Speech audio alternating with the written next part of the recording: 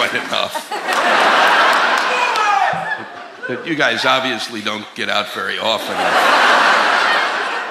And after coming up that 101 er, today, I can, I can fucking see why.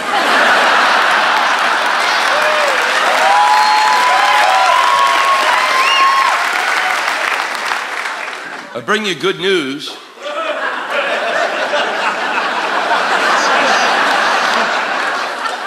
I, uh, I don't know if you noticed, and I don't, I don't think most Americans did, that we had a moment in time, really a few months ago, that was really special for us as a people because we were able to stop as a group, um, which is almost impossible because whenever we stop as a group, we never focus. And for the first time, we were able to focus as a whole group of people. Usually we stop and we form a group, you know, and then we break off in, into discussion groups.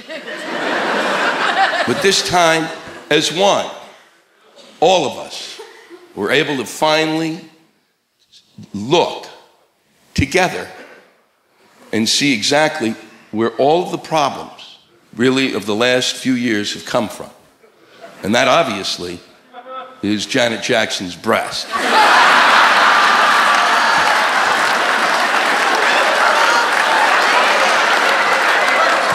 It's the only explanation for the fact that everyone stopped on a dime and went, Look at that kid!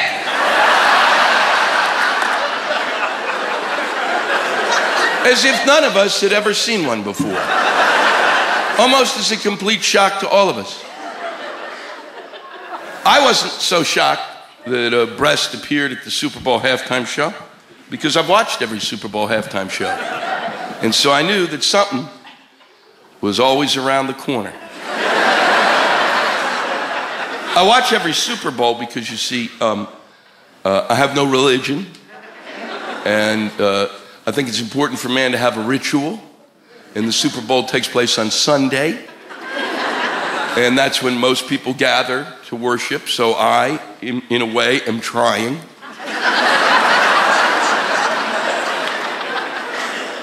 and just before the game starts, I say, thank God. I really watched the Super Bowl for the halftime show because you could go into a coma for a year and wake up and watch the halftime show, and it will tell you all you need to know about how far down America is in the shitter.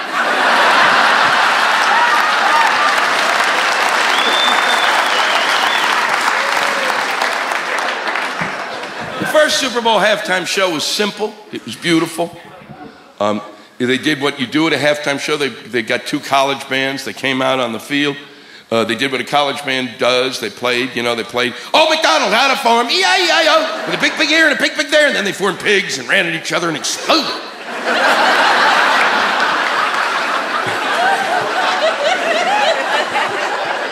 and those were beautiful times. But then each year they added just a little more, just a little more, just a little more. A star here, another band there, um, holding the audience held placards at one point. It was, it's unbelievable. Always trying to make it a bigger and bigger show.